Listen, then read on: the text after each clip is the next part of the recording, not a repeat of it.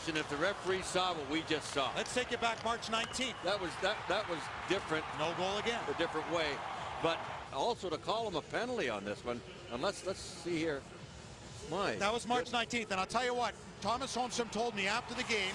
Pekka Rinne told him you got robbed. Feeds off to Houghton. Back to Zetterberg. Holmstrom in front. The shot scores! Henrik Zetterberg, you're saying no goal because Tomas Holmstrom's going to go to the box for interfering with Mikael Tellqvist and Larry Wasserman is camped out front as usual. As Henrik Zetterberg comes off the post. Now where was it? Well, he was just holding his ground. Now why? Jarnqvist was Where's that basically pushing him back. Datsyuk across. Looks from a shot. He scores! And they say no goal. Falsky, he gets it back to the point. Datsyuk sets the table and the shot by Nicklas Lidstrom. There's Holmstrom.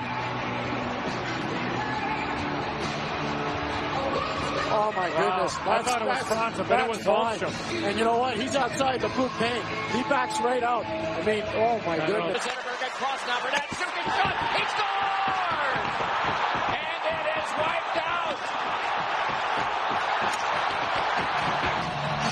The shot by Datsyuk.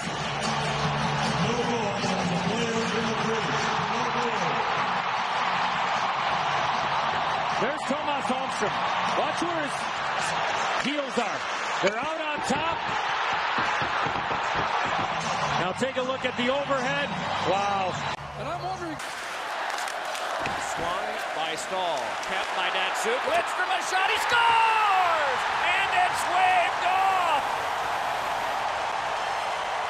Well, what a pass by Pavel Datsyuk. There's Holmstrom, the left part of your screen. He gets to the front of the net and you see the referee just waving.